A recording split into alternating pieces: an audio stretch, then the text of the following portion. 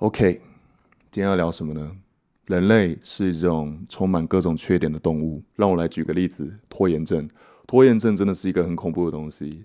这个稿子我从二零二二就开始着手，直到二零二三都已经过一半了，我才把它完成。往好处想，至少我拍了、剪了、上传了。至于是什么样的契机让我想要重新开始这支影片的进度，就是某次回家大扫除的时候。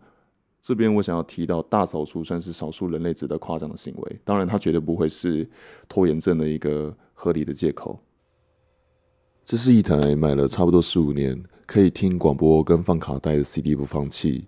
然后找到一张我从小就很喜欢的歌手小野丽莎的 CD，听着她的巴萨诺瓦带点颗粒感、low-fi 的音质，我们缓慢开始今天的主题。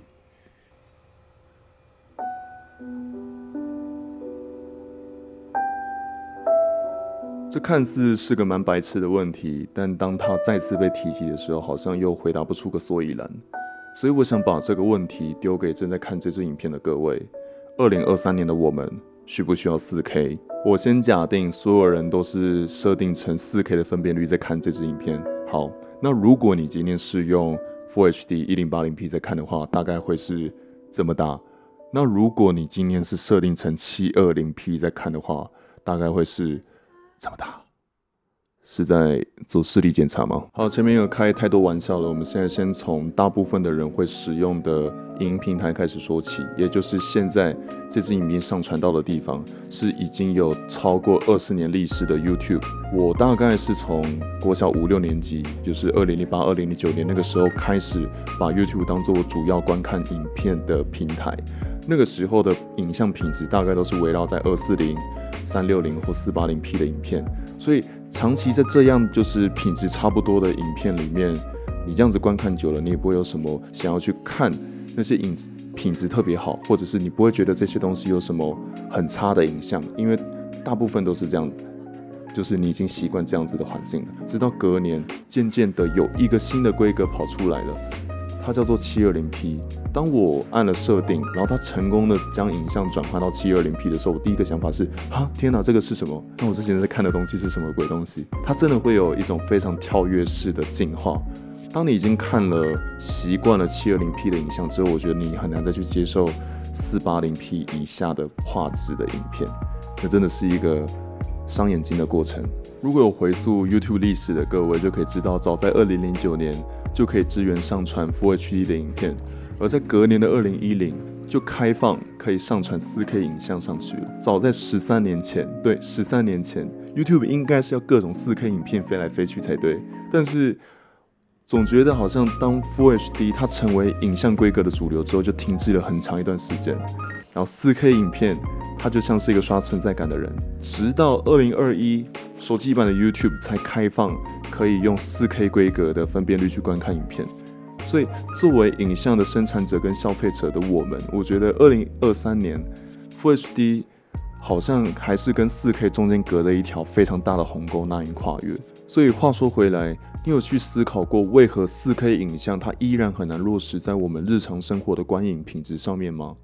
很简单，有两个主要的原因：素材体积跟网速限制。以我的经验去做分享好了。我自己从开始经营频道到现在大概五年的时间，其实到今年的三月，我才正式的把我的影片规格升级到四 K。那当我在拍摄一支影片的时候，我主要要先拍摄独白，就是现在我拿着麦克风在讲话的这个素材。接下来就是针对我的文字稿，我写了什么，好，我现在要去找对应的素材，我去拍。那这两个主要的素材加起来，如果我要拍摄近十分钟的影片，那我累积起来的体积。大概会占近一百 GB 的容量。每当我完成一支影片的时候，就会把所有的素材去备份到硬碟里面。以刚所提到，一支影片大概一百 GB 左右的素材，一颗一 TB 的硬碟大概可以装十支影片左右。如果数学没问题的话，以我作为个人的影像工作者来说，我需要把预算去投入给数位或底片任何的一个硬体器材，其他的预算就是要花在买空间、买空间、买空间里面。当你用完了一颗硬碟，你就需要去思考，我下一颗硬碟跟更多硬碟该怎么办？就是指，当你是一个人制作，你口袋又不够深，四 K 素材对你来讲真的是一个很大的挑战。而且刚刚我讲了这么多，你还需要去思考买对应的剪得动 4K 的电脑，那会是一个挑战。当我聊到这个部分的时候，Full HD 的体积量它是 4K 的四分之一甚至五分之一，所以以性价比、以表现，你会选择哪一个？前面聊到的是影像的生产端，接下来我们来聊聊影像消费端，就是作为生产者的我，如何把拍好的影片上传上去给观众看这件事情。当我拍好了 4K 影像，我很希望大家可以被我 4K 的影片惊艳到。结果问题来了，他们的手机跟电脑网速完全跑不动，意思就是他们的网速跟进度条两个在互相超车，这对于一个想要顺畅去看影像的人是非常伤害节奏的。所以你需要做到的妥协方式，就去设定、去下降你的观看规格。意思就是，四 K 的影片你可能只能用二 K 一零八零 P，好，你都跑不动，那你只能用七二零 P 的影片。是在做视力检查吗？不光是 YouTube，像是 Instagram 或 Facebook 这些社群软体，都是建立在能够让大众顺畅使用为考量。所以，当我们上传的影片跟照片都会经过他们一再的压缩，让品质不这么好。但是就是为了让大家可以在观看的时候不卡顿，能够迅速的做刷新再观看。但是这也换来了我们想要去落实用高品质的影像四 K，去让大家被我们的影像惊艳，在社群软体上几乎是一个不可能的事情。在影视相关的商场逛街，各大品牌带有四 K 的规格已经是标配，四 K 四 K 四 K，附上四 K logo 的商品才上得了台面。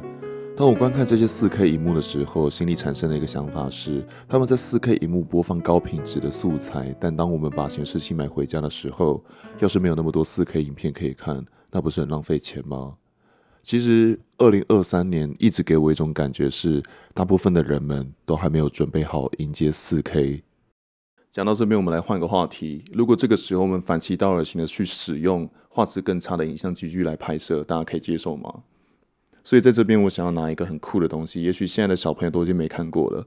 它的名字呢叫做 DV 手机摄影机 Handycam，我感觉很像是在跟幼稚园的小朋友在推销产品一样。这是两年前在高雄的二手相机店买到的 Digilife DDV H10Z，网络上还查不太到有关这台 DV 的产品资讯，只知道是二零一一年推出的产品。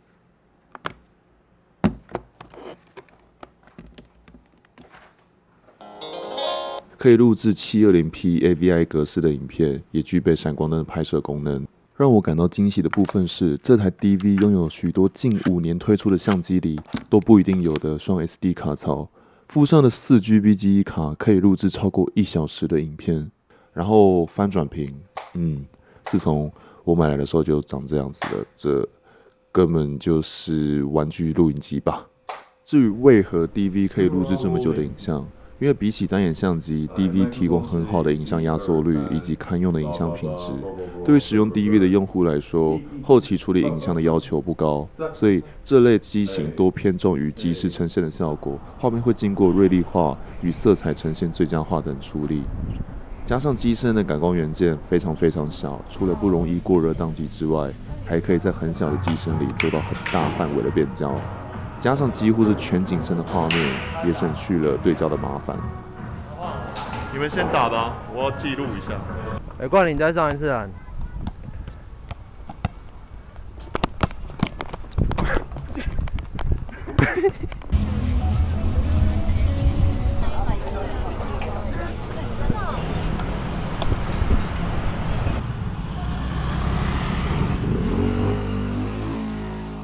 ！DV 某种程度来说，有点像是录影界的傻瓜相机。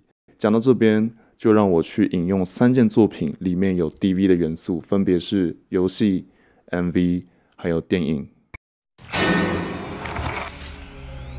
Outlast 中文翻译作《绝命精神病院》，是一款生存恐怖游戏。内容讲述一位美国的新闻记者要在一座恐怖的精神病院里调查事件来龙去脉。而玩家则是以第一人称的方式去操控这位记者，并携带着 DV 去拍摄画面的同时，要避免被病患追杀。在黑暗的空间中游走，必要时候可以打开夜视功能 DV 画面。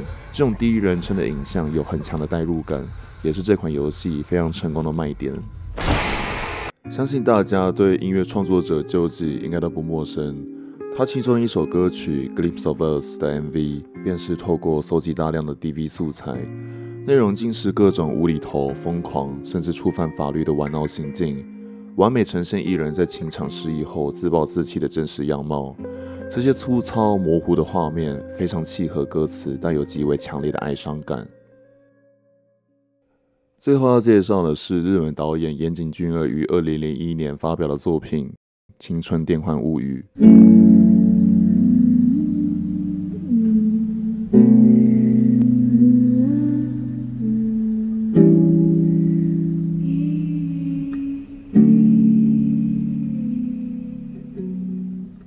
剧情该怎么说？呃，有点复杂。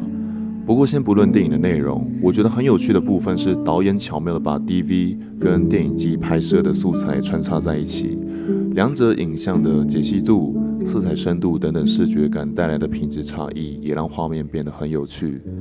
例如主角一行人前往冲绳的戏水片段，在旅程中目睹的意外事件等等，明明电影都是按照剧本演出，但透过 DV 拍摄的那种亲密感、突发事件的冲击感。都比透过专业电影机拍摄出来的画面来得更没有距离，同时也让观众在观影的当下仿佛就在现场的感受。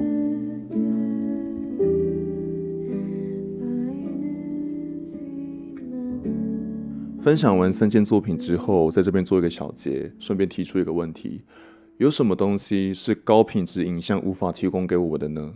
啊，让我换个方式问好了，有什么原因？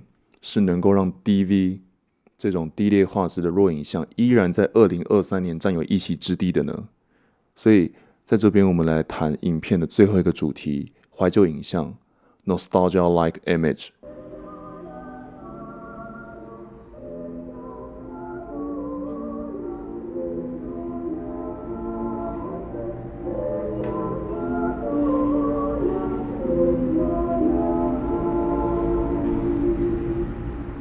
来自立陶宛的导演 Jonas Mekas，与其说他拍的是电影，不如说是把一帧又一帧的影像勉强的拼成一部影片。这是他拍电影的机具，呃，十六厘米的 Bolex 电影机。当他拍摄的时候，不是调整成一秒二十四格，而是两到三格，甚至像拍照一样的暗，所以出来的画面非常的不连贯。但也正因为这样的视觉效果，成为 Mekas 他特有的语汇。在一次的访谈中，Mikas 被问到一位电影工作者如何从拍摄底片影像到全面接受影像数位化，他回答道：“我们能看得到成品，但科技本身几乎是看不到的。在底片、录像、卡带录音，你仍然可以看到、触摸得到物体，它们甚至会在你眼前崩解，但数位科技不会。”这很像是在看一个灵魂，你看得到结果，但你看不到他们从何而来。影像的晃动感意味着观者能够去观察到拍摄者当下是站在哪个位置拍摄的，找不到影像的拍摄者在哪是可怕的，但最可怕的是连拍摄者自己都不知道当时你站在什么位置。影像科技。